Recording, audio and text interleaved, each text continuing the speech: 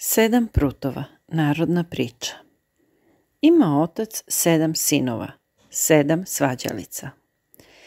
Svađajući se, zanemariše sav kućni posao i sve im pođe naopako.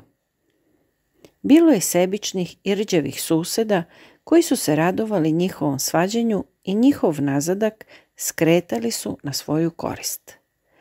Lako je grabiti onde gde nema ko da čuva, kad se čuvari među sobom svađaju.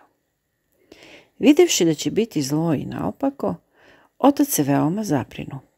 Jedanput skupi sinove oko sebe, pa im pokaza sedam prutova čvrsto povezanih u jedan snop i reče Koji od vas ovaj snop prelomi, onome ću dati deset dukata. Svih sedam sinova pokuša da prelomi snop. Probali su ovako i onako. I na posledku svaki reče da ne može. A otac će im onda. Čudim se što ne možete, jer je to sasvim lako.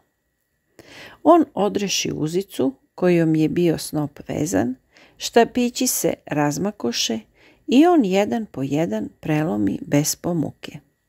Sinovi su se nasmejali. E, to je lako.